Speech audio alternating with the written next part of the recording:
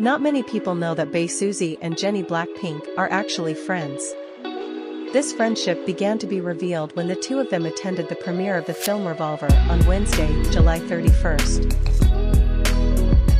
In the video circulating viral on social media, Jennie looks relaxed in black casual clothes.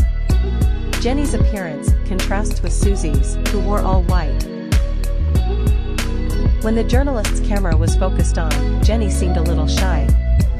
However, the two were seen walking together again. Jennie's face was still lowered even though she was smiling shyly.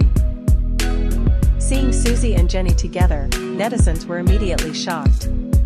Moreover, the visuals of both are considered to complement each other. Until now, Suzy's name has even been widely discussed and has become trending on Twitter. Netizens admitted that they did not think that Suzy and Jennie were actually friends. Various comments emerged. Many netizens also commented on the visuals of the two. Jennie and Suzy? Visual overload, commented one netizen. Two visual queens OMG, replied another netizen. These are two girls from generations 2 and 3 OMG, said another netizen. So, they are friends?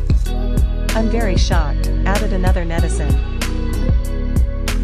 Friendships among idols are sometimes unexpected and surprising. Apart from Suzy, Jennie is also known to be familiar and close to several other celebrities. Not long ago, Jennie allegedly hung out with Jungkook BTS and Mingyu 17 at a barbecue restaurant. Some netizens then hope that Jennie and Suzy can be involved in the same project. So, will Jennie and Suzy collaborate on a project? Let's just wait.